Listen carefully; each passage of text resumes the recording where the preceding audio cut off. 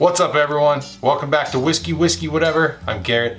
Today, wait a dram minute, we got a 60-ish second video review on Woodinville Bourbon Whiskey finished in port casks. Let's check it out. All right everybody, uh, get into it. Uh, Woodinville Bourbon Whiskey finished in port wine casks uh, from Woodinville Whiskey Company in Woodinville, Washington. A lot of Woodinvilles in there. Um, according to the bottle, they uh, opened season their barrel wood for 18 months. Rain, sleet, and snow, the whole post office trifecta. All right, everybody, getting into the whiskey. On the nose, right off the bat, you get kind of a kind of a kind of a dark, jammy sugar plum note. Maybe some black currants thrown in there. Kind of a floral honey note. All right, let's uh, let's take a taste and see what we think. All right, on the palate, more of those uh, kind of dark, jammy flavors come out. Um, still get a little bit of sugar plum, maybe a little bit like a uh, like a like a red hot kind of spicy cinnamon kind of lingering taste.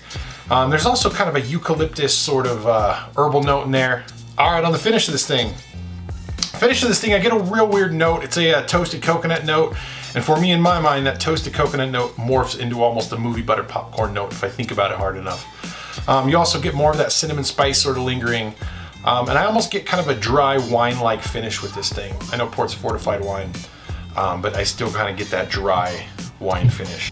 Overall, Woodinville straight bourbon whiskey finished in port casks. I give it a thumbs up. I really like uh, all the finished whiskeys, finished bourbons these days. Um, they're really kind of kind of hitting it out of the park for me. So if you're looking for something that's kind of sweet and complex, um, with all those jammy notes, kind of a spicy lingering, you should definitely try it. Huh, it's good whiskey. Again, my name's Garrett. This has been Whiskey Whisky Whatever. Uh, to dram minute, 60-ish second video reviews. Thanks for watching. You guys stay awesome out there. Like and subscribe, and we'll see you next time. Cheers.